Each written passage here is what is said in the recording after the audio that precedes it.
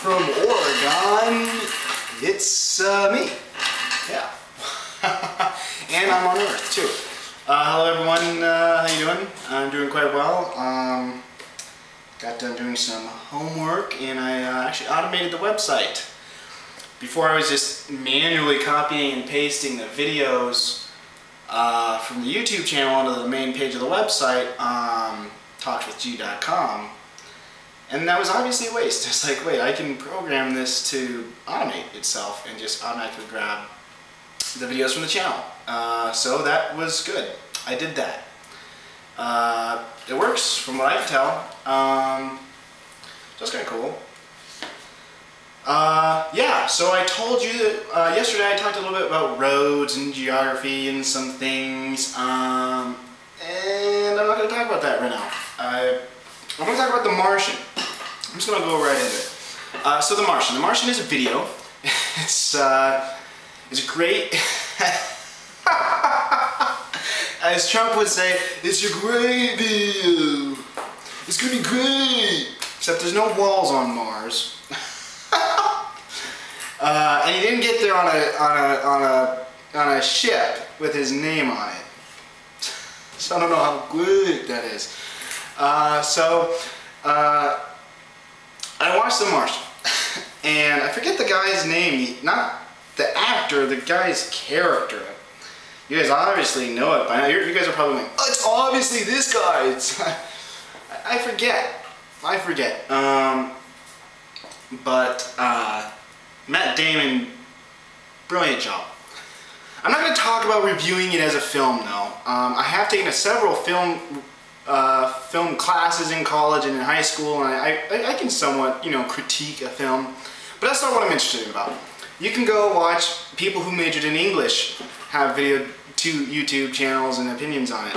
Um, so instead, what I'm going to talk about is, um, I thought I thought the video was important. I thought The Martian was important. I think we'll look back on it um, in an important way. I think kind of the same way we we kind of look back at Star Wars. We kind of look back at uh, you know not Gone with the Wind. I hated that movie. Oh my God, did I hate that movie?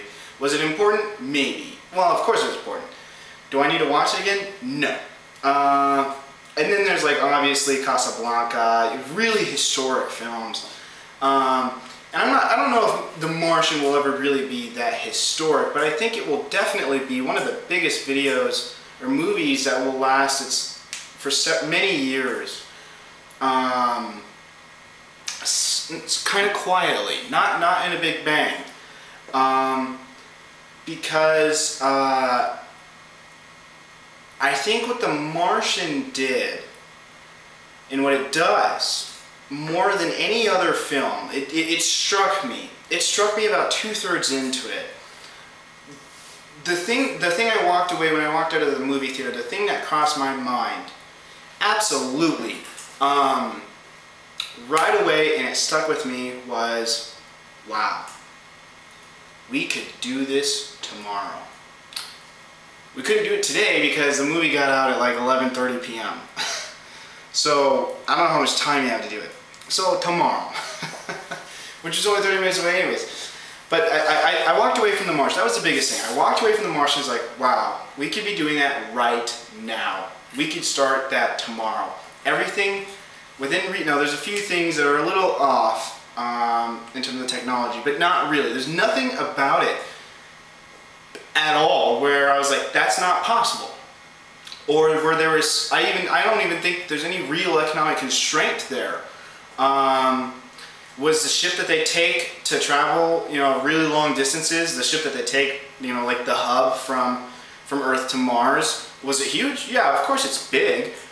Um, but you would assemble it in space anyways. Um, and you would engineer it in space. It would make it a lot cheaper to do it that way, aside from getting the materials up.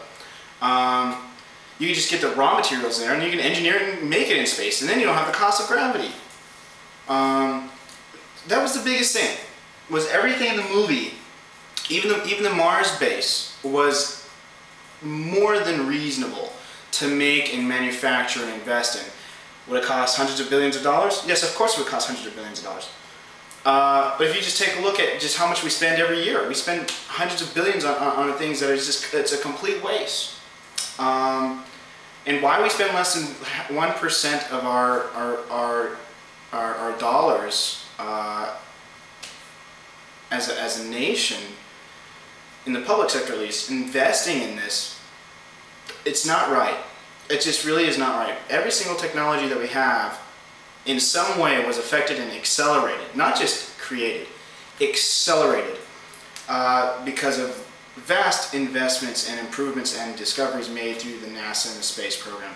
And, and things even past, um, even past the space race and, and getting into uh, uh, the first person on the moon. Um,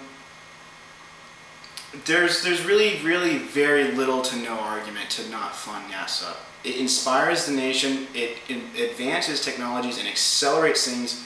It drastically commoditizes costs and inputs of costs for um, propulsion technology, electronic technology, and we have computers because of NASA. We have so many plastic derivatives because of NASA.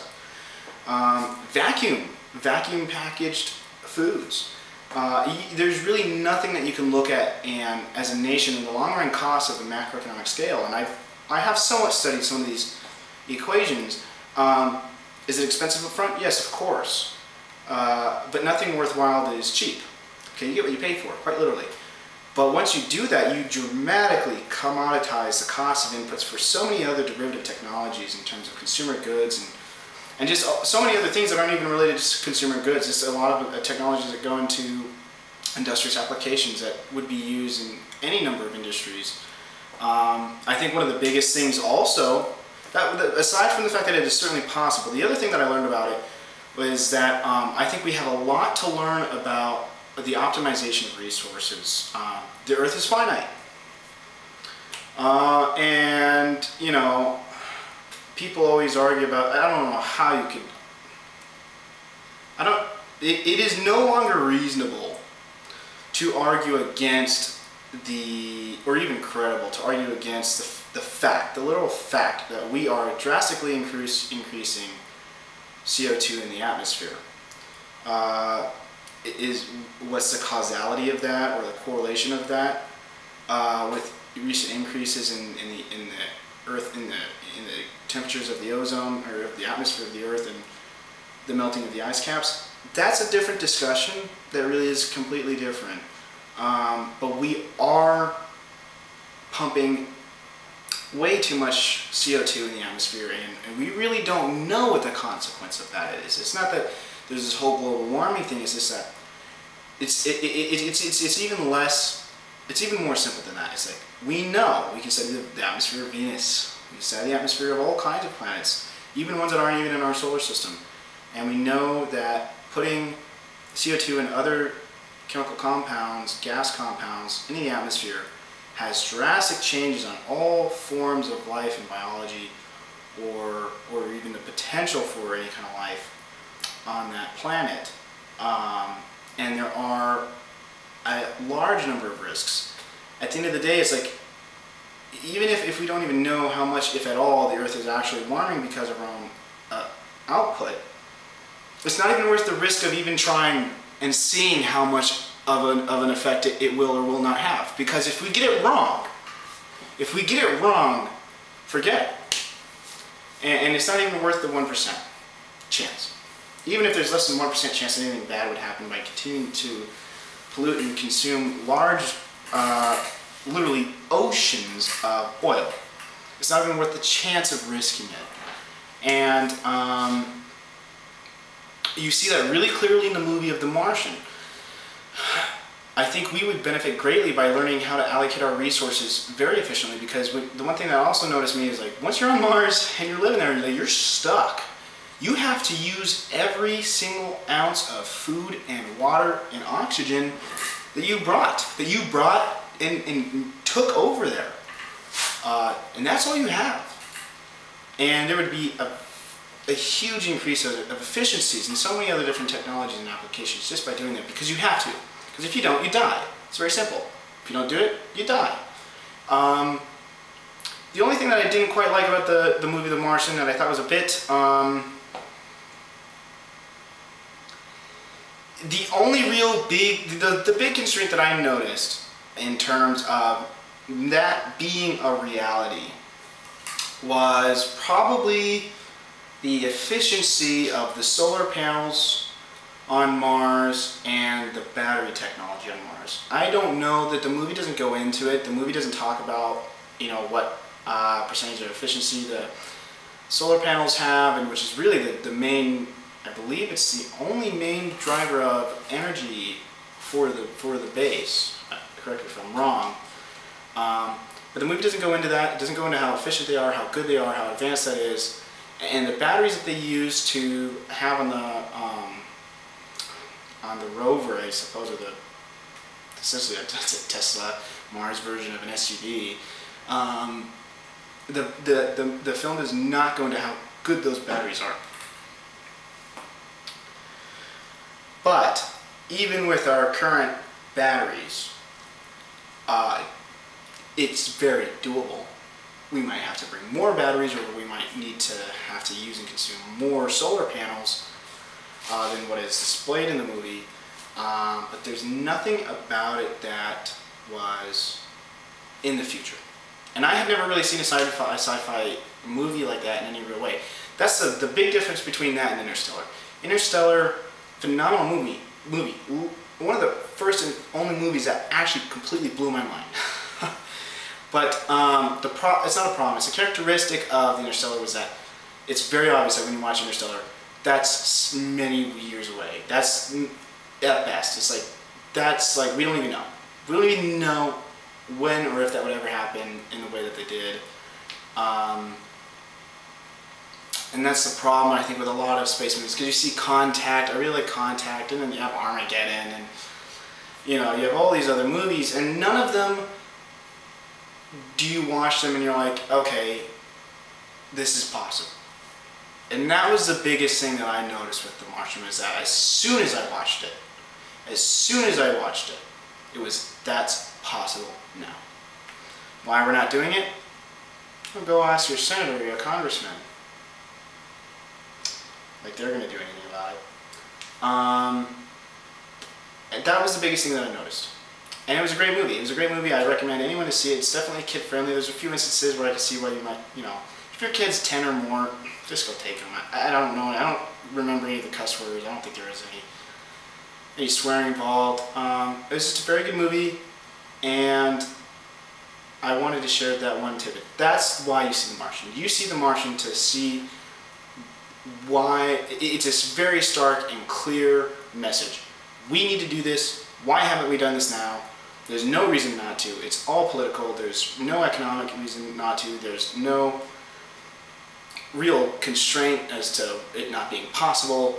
It's purely a political issue as to why we haven't studied it further. Um, and there's a lot of information that the government definitely is not disclosing to us or not being honest about. That is very much true. Um, but I don't want to go into that. There's, there's a lot of really bad stuff going on, especially when it comes to alternative energies um, that can be used for not using coal. And now, now don't get me wrong. I love cars. I love gas. I'm not, and I'm not a liberal either. Make that be known. I'm not a liberal. I'm not a registered Democrat. That said, I'm not a registered Republican either. Um, but uh, the the biggest thing that people uh, forget when we talk about the consumption of oil, and it's very simple. It's called the squared squared cube laws squared cube law. Um, essentially, the problem with creating an economy that solely focuses around the demand and production and consumption uh, of oil and, and, and, and, coal and other types of derivatives from ancient dead plants is that to make another increase to provide that extra barrel of oil, the infrastructure, okay, the, excuse me, the coal mine or the, the rig pumping out the oil, the, tr the train tracks, the, uh, the interstate highway system, the ships. Uh, for every one in unit increase, you have another squared unit on top of that, another multiplier. So essentially, you know, if you to increase this another two units, you need to increase the infrastructure by four times to get that marginal increase. And the problem with that is that eventually it's all over. I mean, you, you, you can't keep keep up with the demand. If you take a look at the energy demands just on a per, you know, the, the amount of watts we're going to be consuming by the year 2050, you can't do that. That will, that's what people do not want to admit when we talk about, do we only have plenty of oil on the earth? Yeah, we do if our demand stayed the same, but demand is infinite. First off, you have to remember that. Demand is infinite, and demand is only constrained by supply. I can easily imagine having 10,000 private jets. That's really not hard to imagine. It's just one private jet times 10,000. That's I can easily demand and want that. Am I going to fly in all of them? Probably not, because time is finite. But can I easily demand that? Can I want that? Of course I can want that. I just did. I just said I wanted it. So there you go. So demand is, is always infinite. That's the number one thing you learn in, one of the number one things you learn in economics.